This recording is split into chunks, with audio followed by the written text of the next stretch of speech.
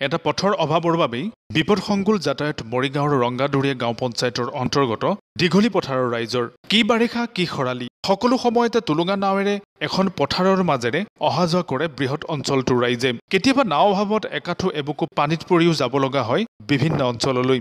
মুঠতে পথৰ অভাৱৰ বাবে এনেদৰে বিগত প্ৰায় চল্লিছ বছৰে দীঘলী পথাৰৰ ৰাইজে জমৰ যন্ত্ৰণা ভোগ কৰি আহিছে। বৰ্তমান উপস্থিত আছোঁ অসম অসম সচিবালয় তথা দিছপুৰ ওচৰতে লাগি থকা এখন জিলা মৰিগাঁও জিলা।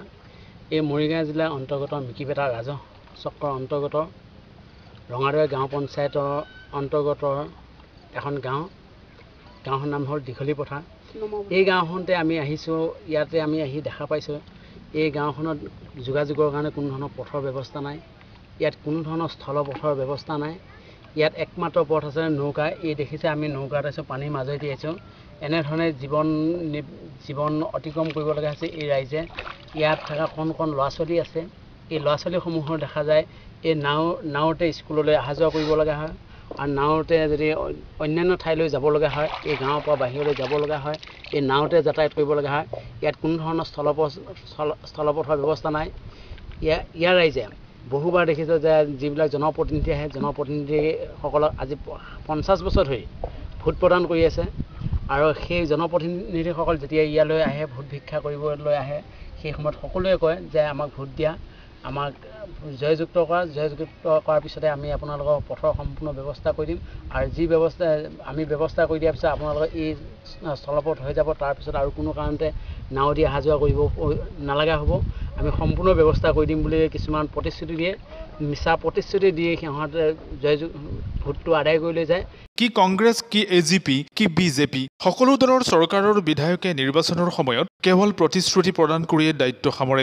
আনহাতে বিগত সময়ত ঊৰ্ধ্বতম কৰ্তৃপক্ষই এই পথটো নিৰ্মাণৰ ক্ষেত্ৰত চকু নিদিয়াত স্থানীয় পঞ্চায়ত প্ৰতিনিধিসকলে পূৰ্বে পথটো নিৰ্মাণৰ নামত সামান্য পৰিমাণৰ কাম কৰি বুজন পৰিমাণৰ টকা লুণ্ঠন কৰাৰো অভিযোগ উত্থাপন হৈছে। আমি আহা অহা যোৱা কৰিলে এই নৌকাতহে অহা যোৱা কৰোঁ। স্কুলৰ ছাত্ৰ ছাত্ৰী চবে নৌকাত অহা যোৱা কৰে। কেতিয়াবা আপোনাৰ এই নৌকা বুৰি যায়। ইয়াত পানী পানীত যেতিয়া নৌকা বুৰি যায় ভেগ চেগ বহি চহি সম্পূৰ্ণ ভিজে সেইদিন আৰু সিহঁতৰ স্কুলত যোৱা নহয়। মই এইখিনি ক'লোঁ আৰু আৰু কি ক'ম? নিৰ্বাচনৰ। সময়ত বিভিন্ন জনপ্ৰতিনিধি ইয়ালৈ আহে।